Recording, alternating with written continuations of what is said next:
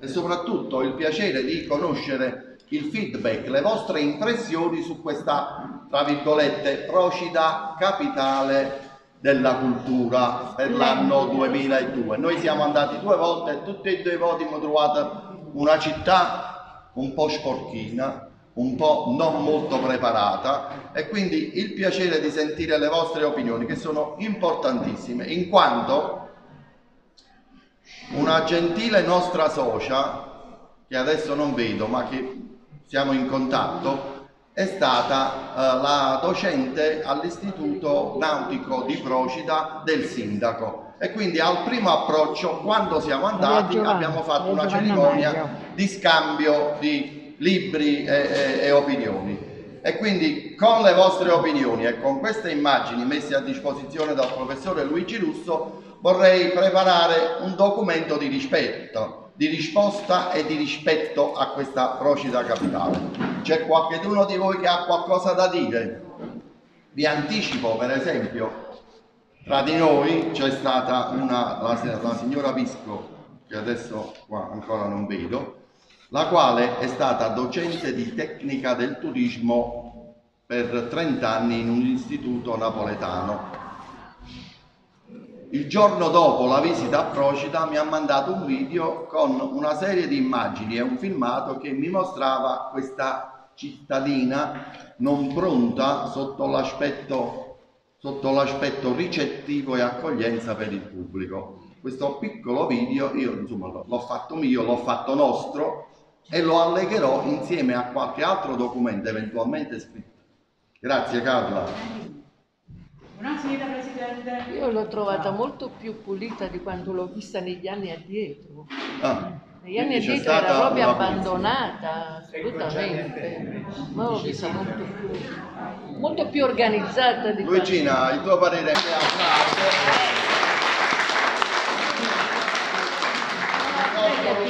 con Giovanni Accarino, un piccolo grande perché siamo riusciti a fare un passo avanti. Mentre lo scorso anno avevamo a disposizione questa sala un martedì sì e un martedì no, per questo anno accademico fino a giugno 2023, dietro indicazioni sue dirette, abbiamo presentato al Consiglio Comunale la possibilità di essere qua tutti i martedì in un orario compreso dalle 3 alle 19, 4 ore che probabilmente riusciamo a organizzare anche dei corsi. Due dei docenti si sono avanti. Uh, Giovanni, ti ringrazio a nome di tutti questi signori.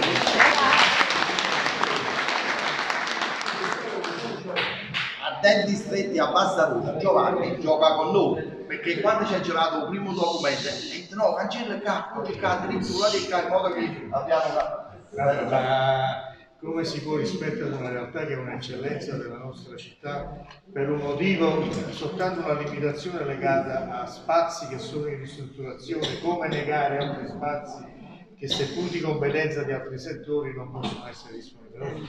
Eh, lo scopo è questo, vi chiedo ancora un altro anno accademico di, di pazienza e di sofferenza relativa, però è l'impegno che l'ultimo anno che, che siete qui al centro funzionale, così possiamo far vedere tutta la pienezza anche ai nostri giovani e restituirvi gli, spazi che meritate nel centro culturale di Via delle Rose che mi auguro e sono convinto, sono sicuro che per l'anno prossimo sono nuovamente fruibili a tutti quanti voi e restituito quegli spazi alla cittadinanza. Bene, grazie Gianni.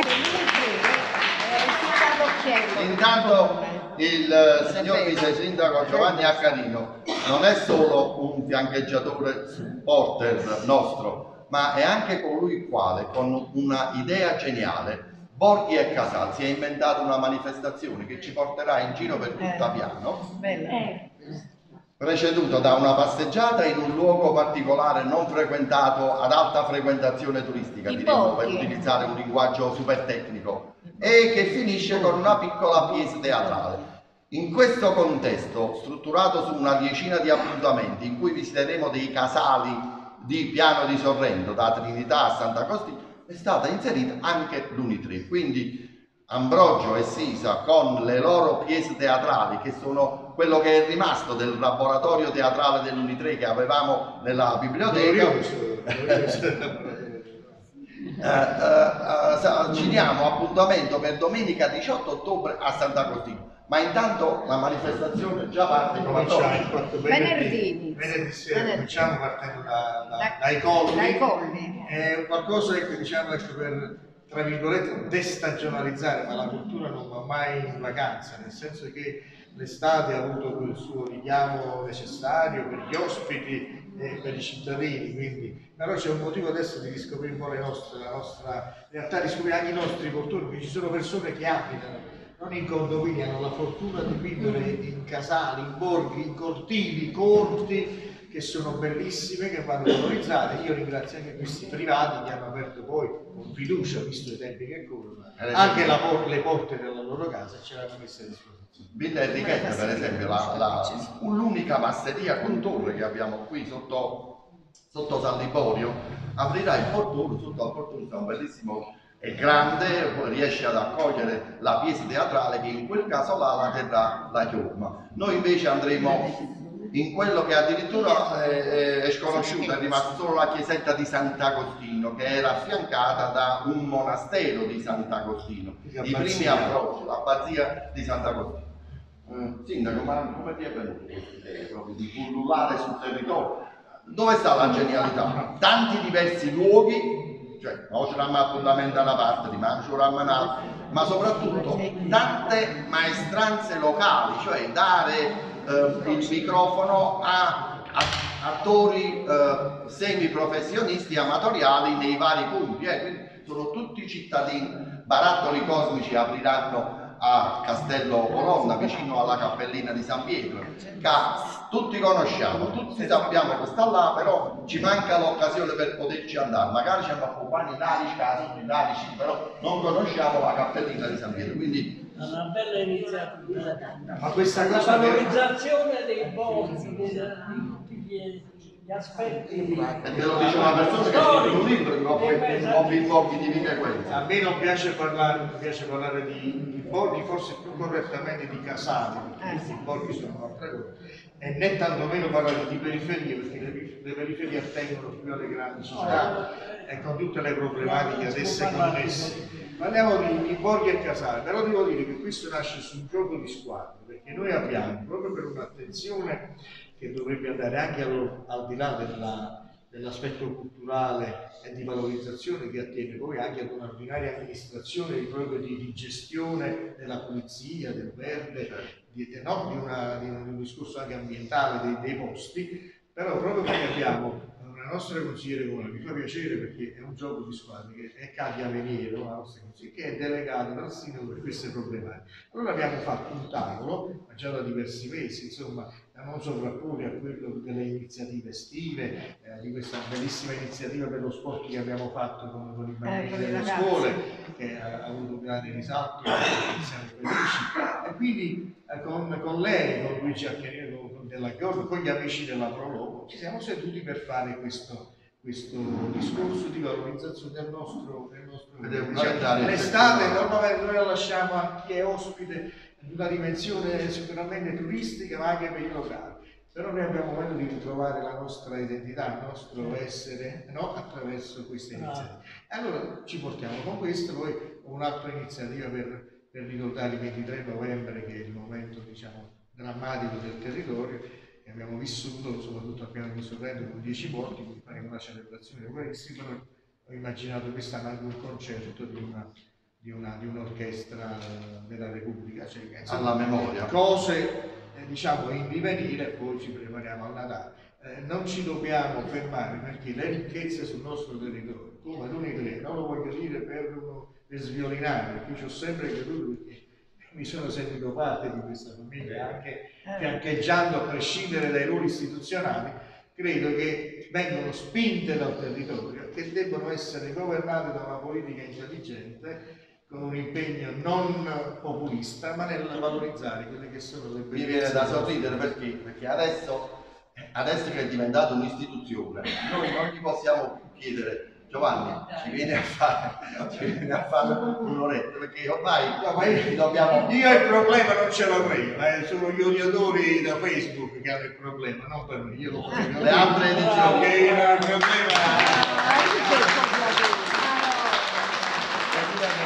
oggi quando ha suonato per noi ha creato dei karaoke, ha fatto cantare le signore dell'Unitre, ci ha intrattenuto per ore e ore. Però adesso sinceramente non me la sento, gli vado a chiedere altre cose al vice sindaco Giovanni Iacarina. E soprattutto ti ringrazio di aver strappato del tempo per dare un necessario saluto di inizio anno, nel senso che la tua benedizione è determinata. Siamo qua tutti ma non siamo laicamente una benedizione laica, se non timida si nasce al centro europeo, che è la cosa più importante, al di là poi di ognuno delle proprie fedi, delle proprie, dei propri orientamenti. No, la, veramente l'augurio è l'impegno a dire siamo vicini all'Uni 3 qualsiasi momento. Ripeto, questo è ancora un anno di transizione, mi auguro che possiamo poi fare una festa più importante l'anno prossimo, restituendo gli spazi che sono, sono vostri eh, alla grande. Eh, però voglio dire, al di là di questo, al di là di questo, qualsiasi iniziativa voi riterrete di condividere insieme, noi ci siamo, perché ovviamente io parlo a nome dell'amministrazione. Tu oltre che a ricoprire un grande ruolo adesso, sei anche un grande showman. Ma io, no,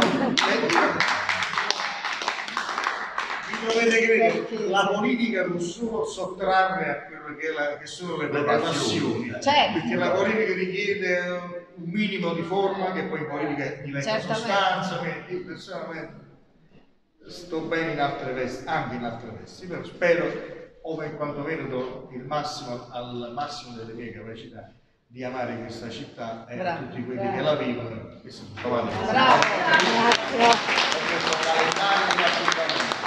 che è legata alla destazionalizzazione, che è legata alla conoscenza dei luoghi, perché le cose solamente se le conosciamo le incominciamo ad amare. Eh, certo. Questa chiesetta di Sant'Agostino è così tante, quindi è un'operazione. Torneremo, a San, torneremo a San Giovanni, che è una ah, cappelline che siamo sempre in, in ristrutturazione, insomma, uno, uno, dei casali più antichi di Piazzi. Casali che per un sistema di viabilità moderna, come se fosse, a meno che non ci andate appositamente solitamente per andare a casa di un qualcheduno che abita lì, eh, difficilmente si ci passa, soprattutto San Giovanni, Sant'Agostino. Ah, certo, certo. Esatto, esatto, la chiesa la troviamo qui, mentre in questa occasione la vedrete aperta.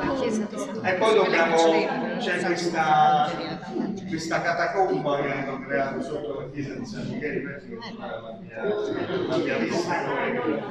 Ma vale la pena di vederla perché vale la pena ho parlato con il priore della Nera, con Michele Cattolico, ma teniamola aperta anche nel periodo del dove saranno raccolti che è la musica tali dei sacerdoti, di tutti i sacerdoti della, del piano anche un luogo secondo me da...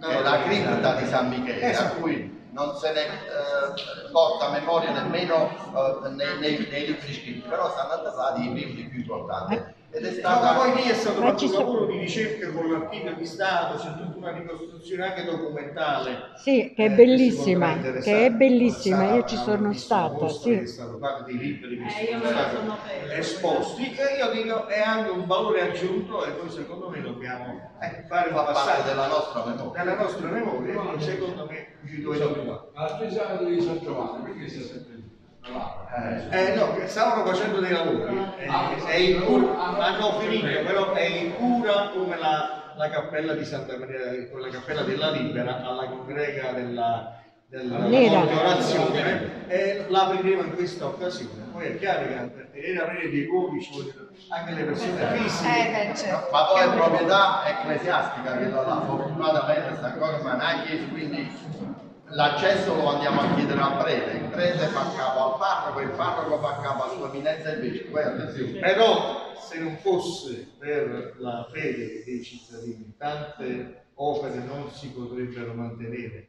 Lo dobbiamo dire, c'è la fede, la donazione di tanti, eh, di tanti non solo appassionati, ma di tanti uomini e donne di fede che fanno anche dei doni, dei lasciti importanti, altrimenti le chiese non si manterrebbero così, bisogna sempre capire che al di là dello ius patronatus c'è uno ius proprio della, della, civiltà dei cittadini che tengono vive queste, queste tradizioni, che è memoria per chi è, per chi è laico, per chi è fede, per chi ovviamente ci crede. Mm. Quindi i cittadini ancora... Grazie Sindaco.